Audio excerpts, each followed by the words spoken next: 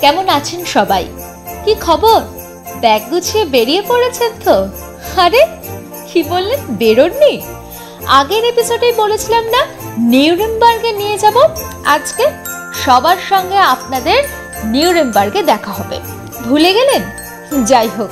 আচ্ছা প্রথমেই বলি, নিউরেমবার্গ বললে আপনাদের ঠিক কি মনে হয়? পাহাড়? বরফ? ঠান্ডা? না মানে কোনটা ঠিক? আমাকে জানাবেন অবশ্যই। ততক্ষণে আমি টুক করে একটা ভার্চুয়াল ট্যুর দিয়ে দিই।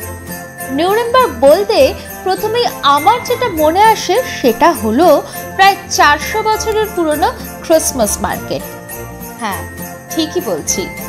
অনেকে বলেন জার্মানিতে যতগুলো বড় বড় ক্রিসমাস মার্কেট বসে, তার মধ্যে নিউরেমবার্গের ক্রিসমাস মার্কেট সব থেকে প্রাচীন। প্রায় চারশো বছরেরও বেশি পুরনো। বিশ্বস্ত বিভিন্ন দেশ থেকে এই বাজারে যোগদান করতে আসে।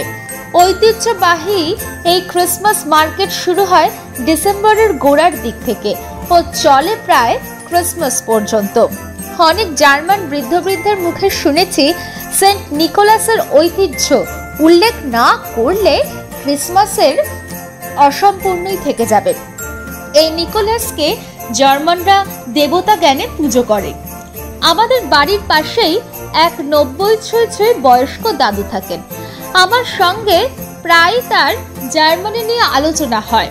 তিনি তার, তিনি আর আমি প্রায়শই একটা কফির কাপ নিয়ে আড্ডা দিতে বসি এবং একদিন হঠাৎই আড্ডা দিতে দিতে তিনি ক্রিসমাসের প্রসঙ্গ উঠতে উনি নিকোলাসের কথা বলে উঠলেন।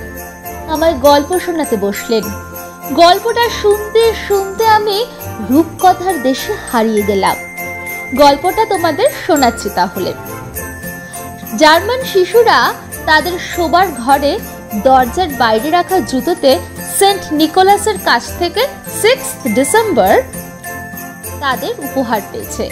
আমিও তখন বলে উঠলাম, আরে আমি আর ভাইও তো ছোটবেলায় পঁচিশে ডিসেম্বরের আগের রাতে মাথার কাছে বালিশের মোজা নিয়ে ঘুমোতাম।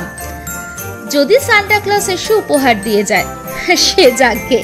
আমি এই গল্পের মধ্যে আমার মেয়েবেলাকে ছুঁয়ে দেখতে পেলাম। ক্রিসমাস বিদেশের লোকের কাছে আমাদের দেশের দুর্গাপুজোর মতো। ক্রিসমাস ঈদ সাধারণত সবাই বন্ধু, দল, পরিবারের সঙ্গেই কাটাতে পছন্দ করে। ক্রিসমাস ডিনার একটি বিশেষ ব্যাপার জার্মানদের কাছে। তবে আমি এতদিন কলকাতাতেই ক্রিসমাস কাটিয়েছি। কলকাতাতেও পার্ক স্ট্রিট বৌব্যারাক অঞ্চলে আলোর মালা দিয়ে সাজানো হয়ে থাকে। এছাড়াও আমরা প্রত্যেকে জানি রামকৃষ্ণ মিশনের কথা।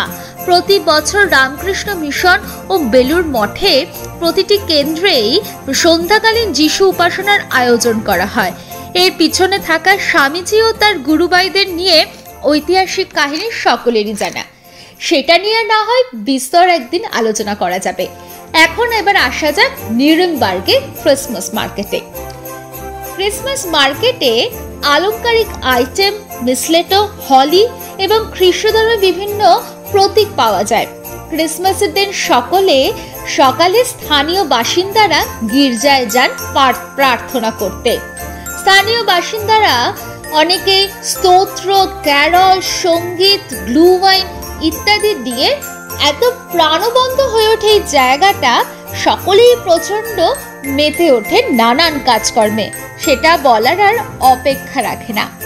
আমি নিশ্চিত এই জায়গাটি যদি কেউ আসেন, এই জায়গাটি আপনাকে নিঃসন্দেহে একটি ইন্ডো জার্মান স্বাদ এনে দেবে। লোকেরা এমনই উদযাপনের সাক্ষী হতে আসেন নানা বিশ্বের দেশ থেকে।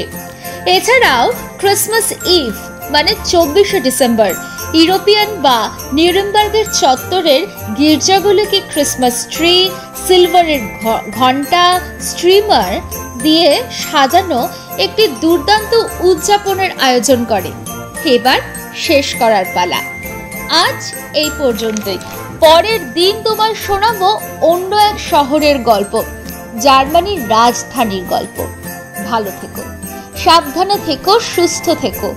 জানিও কেমন লাগল আজকের পর্ব। শুনতে থাকো পরবাসের ফুলঝুরি। আমি আবার হাজির হব পরের সপ্তাহে। ততক্ষণে তোমরা টুক করে আমার পডকাস্টগুলো শোনার জন্য বেল নোটিফিকেশন অন করে রেখো। সবাইকে মেরি ক্রিসমাস।